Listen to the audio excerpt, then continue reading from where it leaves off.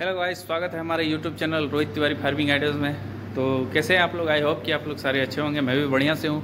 आज मैं बात करने वाला हूँ दोस्तों, नाद और खुरली किस तरह से बनाया जाता है किस तरीके से बनाया जाता है और क्या कितने अंदर की मतलब जो गड्ढा होता है अंडर अंदर का बीच कितना देर होना चाहिए और चौड़ाई कितना होना चाहिए, उसको मैं प्रॉपर तरीका से आज मैं बताऊँगा।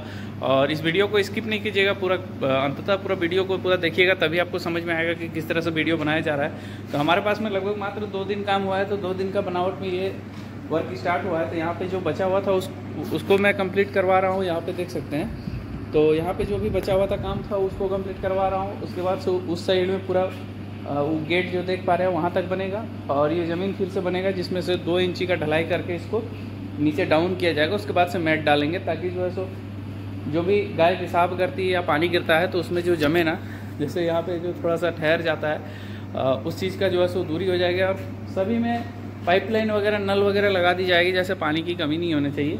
और इस चीज़ को यहाँ पे हम लोग चेंजिंग करने वाले हैं, जैसे ईटा को खड़ा, इसको उठा के ईटा को खड़ा बिछवा के उसमें से थोड़ा थोड़ा जो है सो सीमेंट डाल के उसको ढक के थोड़ा सा बनाया जाए। तो उस, आज हम लोग पूरा प्रॉपर तरीके से जानेंगे कि नाद को कैसे कंप्लीट किया जाता है तो उस वीडियो को पूरा देखें। उससे पहले मैं कहना चाहता हूँ, दोस्तों, मेरे चैनल पर नहीं है तो प्लीज़ मेरे चैनल को सब्सक्राइब कर लें बेलाइकन को प्रेस कर लें, ताकि मेरी अगली वीडियो की नोटिफिकेशन अब तक जल्द से जल्द पहुँचे। तो देर न करते हुए, दोस्तों, आगे बढ़ते हैं, हर जानकारी लेते हैं कि नाद खुरली किस तरीके से बनाया जाता है। तो जैसा कि दोस्तों, यहाँ पे देख सकते हैं, हमारे पास में एक, दो, तीन, चार, पाँच छः सात। सात नाद जो है सो बन रहा है जिसमें से सभी में जो है सो यहाँ पे ये आ, सबसे पहले सभी के दिमाग में आता है कि ये किस तरीके से जाम किया जाता है। तो एक लंबा सा जो है सो लगभग आठ एम का एक छड़ ले लें। छड़ में उसको इस तरीके से जो ये दरवाज़ा हर एक हार्डवेयर दुकान में मिल जाएगी आपको। ये चीज़ को आप लगभग चार फीट पाँच दो तीन फीट के आसपास में इसको गैप में गैप गैप में वेल्डिंग पहले करवा लें। और वेल्डिंग करवाने के बाद में क्या है कि एक ढलाई इतना मोटा देख सकते हैं, लगभग पाँच इंची के आसपास में ढलाई है। इस ढलाई को आपको करना है, उस बीच में उसको रोड रोड को रख के। उसके बाद से देखिए यहाँ पे कितना सुंदर से ये जाम हो गया है। और इस जगह पे आप सबसे पहले इसको यहाँ पे देख सकते हैं, ये दो फीट का ये जगह है। और गहराई जो है सो मात्र एक फीट है। लगभग मान के चले कि बारह इंची के आसपास में ये गहराई है। और यहाँ पे देख सकते हैं, पानी निकलने के लिए किस जगह पे एंगल पे ये पाइप लगाया गया है, ताकि सारा जो भी है थोड़ा सा मोटा यहाँ पे पाइप लगाया गया था। पिछले बार हम लोगों ने गलती किया था, देख सकते हैं कितना छोटा लगाया था, जिससे कूटी वगैरह जो भी रहता है तो वहाँ पे चारा बढ़िया तरीके से वॉश होकर निकलती नहीं है वहाँ पे। तो इस तरीका से आप अगर लगाएँगे तो यहाँ पे सारा जो है, जो भी कचरा रहेगा अच्छे तरीका से। और यहाँ पे हमको बहुत ज़्यादा झुक के यहाँ पे खाना सा जो चारा मिलाने का रहता था तो वहाँ पे जो भी वर्कर रहते थे या हम खुद लेते थे तो ये बहुत ज़्यादा हाइट नीचे में था। तो यहाँ गाय को भी परेशानी होती थी, हमको रस्सी ज़्यादा लंबा बांधना पड़ता था जिसके कारण क्या होती थी कि गाय को बहुत ज़्यादा गैप में बांधना पड़ता था। और इतने जगह में मात्र तीन से चार गाय लेती थी हमारे जगह में। और यहाँ पे जैसे ये हाइट में आएगी बांधने के लिए तो हमको रस्सी कम बांधना पड़ेगा, रस्सी छोटा बांधना पड़ेगा। तो उससे क्या होगा कि जनरली गाय ज़्यादा मतलब यहाँ पे रह सकती है और गैप जो है सो बहुत ज़्यादा कम लगेगा। और यहाँ पे देख सकते हैं, अब जैसे पुराना दीवार है वॉल है तो पुराना पुराना दीवार में क्या होता है कि पानी जैसे सीपेज करने का बहुत ज़्यादा चांसेस रहता है। पुराने जो हम लोगों ने बनाया, उसमें जो है सो अनुभव मुझे ये चीज़ प्राप्त हुई। कि जिसमें उस टाइम पे वहाँ पे जो है प्रॉपर तरीके से पानी जो है सो निकल जाता है बाहर में।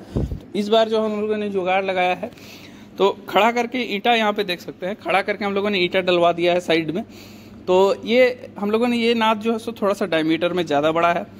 उस नाद के, इस सब नाद के मुताबिक ये थोड़ा सा बड़ा है। तो यहाँ पे हम लोगों ने देखा कि चलो भाई, इसमें चल जाएगा, कोई दिक्कत नहीं है। लेकिन यहाँ पे अगर हम लोगों ने इस तरह से अगर देते हैं तो तीन इंची का जो डायमीटर है, उसमें जो है घट जाएगा तो कुटी वगैरह थोड़ा सा कम ले सकते हैं। तो यहाँ पे देख सकते हैं, सबसे पहले इसको तोड़ा गया है।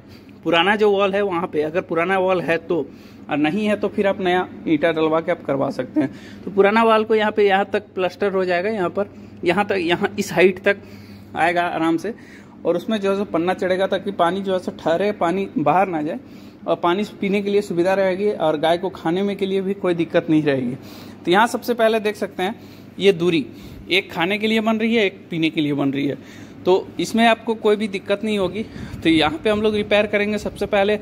इसमें एक ईंटा डाल के सबसे उसको प्लास्टर और ढलाई करके फिर से इसको बनाया जाएगा। यहाँ पे जैसे काम हमारा लगा है तो सारा चीज़ कंप्लीट करवा के ही आ, ये होगा। जो भी गाय यहाँ पे रहेगी। बड़ी आराम तरीका से जो है सो नाद नाद में भी देख सकते हैं। बहुत ही आसान तरीका से नाद इसने बनाए हैं और जो भी आइडिया हम लोगों ने दिया है तो मिस्त्री ने काफ़ी बढ़िया तरीका से जो है सो वर्क भी मात्र दो दिन का काम हुआ है। यहाँ पे लगभग छः सात नाद कंप्लीट हो चुका है। बस इसमें प्लास्टर लगेगा, उसके बाद से सीमेंट का पन्ना जो चढ़ता है वो चढ़ जाएगा। उसके बाद नाद हमारा बन के कंप्लीट हो जाएगा। लगभग तीन से चार दिन इसको सूखने के लिए छोड़ेंगे, पानी डाल के। तो काफ़ी बढ़िया तरीका से ये जाम भी हो जाएगा और काफ़ी बढ़िया तरीका से कंप्लीट भी हो जाएगा। तो इसमें जैसे ही ये ढलाई हो जाएगी उसके बाद से तीन चार दिन के लिए उस, उस साइड में हम लोग पहले करेंगे। तो पार्ट वाइज आपको वीडियो मिलते रहेगी जानकारी आपको मिलते रहेगी। हमारे चैनल से आप नए जुड़े हैं तो प्लीज़ मेरे चैनल को सब्सक्राइब कर लें। आपको बहुत सारी ऐसी जानकारी मिलेगी और कम सुविधा में कम लागत में काफ़ी ज़्यादा जो है सो आपका एक बढ़िया फार्म जो है सो बन के तैयार हो जाएगा। सेड भी मैं आपको बताऊँगा। और पिछले भी मैं कई वीडियो में सुबह बताया था कि सस्ते सेड किस तरीके से बनाया जाएगा। अभी मैं कुछ ही दिन में आ, कल या परसों मेरे एक फोगर पटना से बात हुई थी। पटना में एक है तो उनसे बात हुआ था फोगर को लेके। तो गर्मी में मैं फोगर भी बहुत जल्दी कंप्लीट करवा के फोगर भी लगवाने वाला हूँ। तो फोगर का भी वीडियो आप लोगों को मिल जाएगा। तो नाद का वीडियो जो है, सो इस तरीके से वीडियो आप देखते रहे। पार्ट टू में आपको सारा चीज़ कंप्लीट दिखाएँगे और प्रॉपर दिखाएँगे कि किस तरीके से जो है, सो कंप्लीट किया गया। तो कल का वेट करें आपको, कल सारा चीज़ का अप टू डेट मिल जाएगा वीडियो। आज के लिए बस इतना ही दोस्तों। मिलते हैं अगले नेक्स्ट वीडियो पे। और इसी तरह तरीके जानकारी वाली डेयरी से जुड़े और गायों से संबंधित हर एक बीमारियों की इलाज के, से जुड़ी हर एक वीडियो, पार्ट वाइज आपको मिलते रहेगी। और एक चीज़ बताएँगे, गाय के हीट में, के बारे में और प्रेग्नेंट के बारे में बहुत ही बढ़िया सुझाव मुझे एक चीज़ मिला है और बहुत ही ज़्यादा अनुभव हुआ है उस चीज़ के बारे में। तो उस वीडियो को भी आप, अगर आप जानना चाहते हैं, उस जानकारी को तो कमेंट करके ज़रूर बताएँ। और नाद के बारे में और भी ज़्यादा जानकारी लेना चाहते हैं तो आप कमेंट करके ज़रूर बताएँ। कमेंट करेंगे तभी मैं आप लोगों को वीडियो बता सकता हूँ और मैं आप लोगों को समझा सकता हूँ। तो कमेंट करके ज़रूर बताएँ दोस्तों। और इसी की तरह और जी जानकारी के लिए वीडियो को चैनल को सब्सक्राइब कर लें बेल आइकन को प्रेस कर लें, ताकि मेरी अगली वीडियो की नोटिफिकेशन आप तक सबसे पहले पहुँचे। तो आज के लिए बस इतना है दोस्तों, मिलते हैं अगले नेक्स्ट वीडियो पे। जय हिंद, वंदे मातरम।